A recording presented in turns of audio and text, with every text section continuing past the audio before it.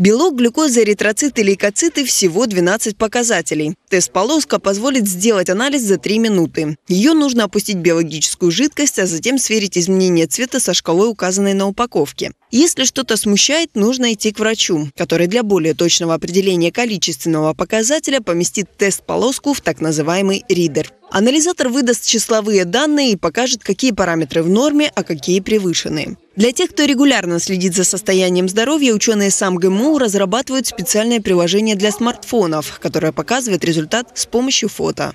Мы стали уже работать с тем, чтобы произвести специальную программу, которая именно читает эти тестовые системы, и человек сможет просто с помощью своей там, камеры, э, наводя камеру на эту полоску, получать результаты своего анализа и отслеживать состояние своего организма. Вот, и сейчас мы разрабатываем такую вот программу на смартфон, она уже разработана.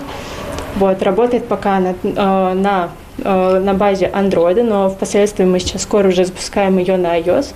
То есть в чем ее суть, что мы получаем вот изменение цвета на полоске, как я уже показывала, наводим смартфон на эту полоску и получаем количественный результат Разработка ученых из СамГМУ позволит выявить патологии почек, печени или онкологическое заболевание на ранней стадии. Приложение еще совершенствуют. В дальнейшем оно будет подсказывать пациентам, к какому специалисту стоит обратиться. На разработку этой тест-системы ушло около трех лет.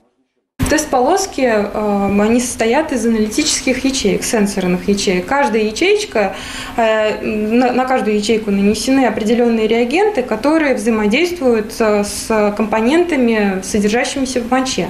Ну, то есть, если они есть, они взаимодействуют, цвет э, ячейки изменится, например, из красного перейдет в зеленый. Вот, и уже мы можем судить о том, что у нас там, такое количество, ну, там, сравнивая с определенной шкалой. У этой разработки ученых из СамГМУ пока нет названия. Она позволит врачам определить, на какой стадии находится патологический процесс у пациентов с онкологией крови и заболеваниями соединительной ткани. Сейчас такой анализ занимает около суток. Он выполняется с помощью вертикального электрофореза. Новая разработка упрощает процесс и требует всего 15 минут.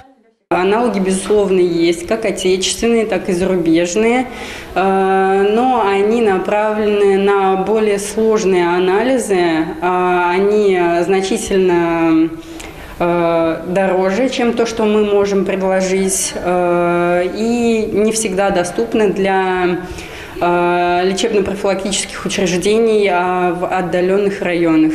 Самарские ученые готовятся представить свои разработки на конкурс. В случае победы они получат грант на дальнейшее развитие идеи. Елена Малютина, Николай Епифанов. События.